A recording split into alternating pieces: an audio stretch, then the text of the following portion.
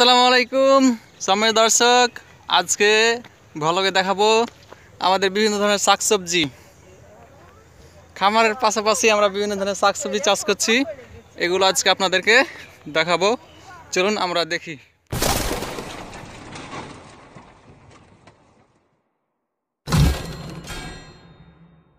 দর্শক, আপনারা দেখতে পাচ্ছেন এখানে ফুলকপি। আমরা অনেকগুলো ফসল চাষ করেছি।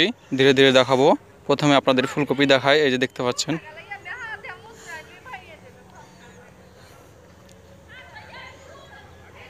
দেখতে পাচ্ছেন অনেকখানি লাগানো হয়েছে। এছাড়াও অনেক ফসল রয়েছে। চলুন আমরা দেখি।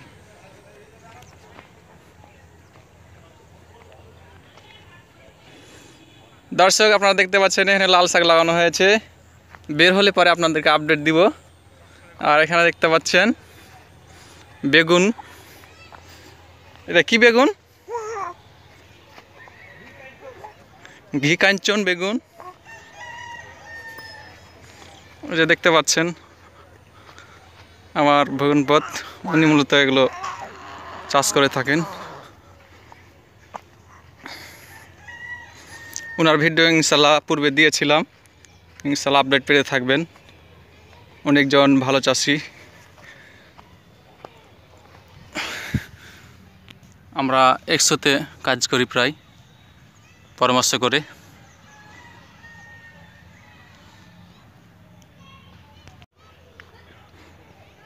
অনেকখানি বেগুন লাগা রয়েছে।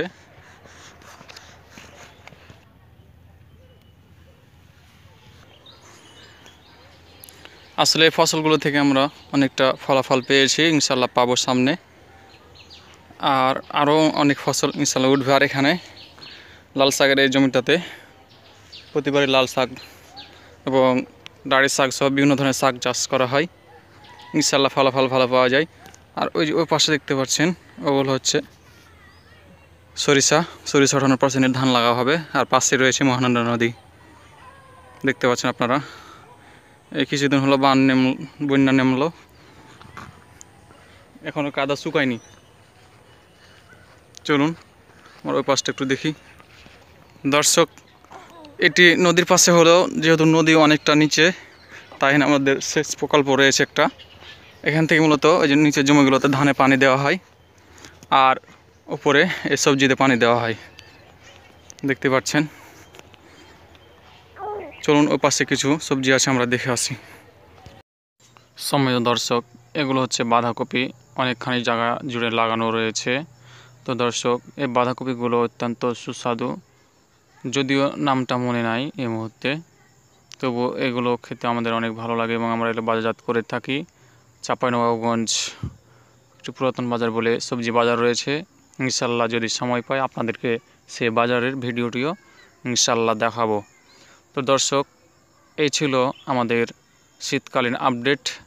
আর দর্শক, আরেকটি কথা বলে রাখি, আমাদের এবার লাউ চাষ করা হয়নি। কেননা সেখানে বারবার লাউ চাষ করা হয়ে থাকলে লাউ ভালো হয় না। সেই জন্য আমরা সেখানে লাউ চাষ করি নাই। এবার এই ফসলগুলো লাগিয়েছি।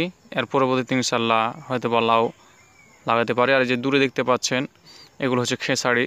খেসারি ঘাস করা হবে এগুলো এবং বারোঘরিয়া ঘাস বাজার একটি রয়েছে সেই ঘাস বাজারে বিক্রি করা হয়। তো দর্শক, এই ছিল মোটামুটি আমাদের শীতকালীন আপডেট। তো ভালো থাকুন, সুস্থ থাকুন। আর একটি নতুন এপিসোড নিয়ে আসা পর্যন্ত, আসসালামু আলাইকুম। আল্লাহ হাফেজ।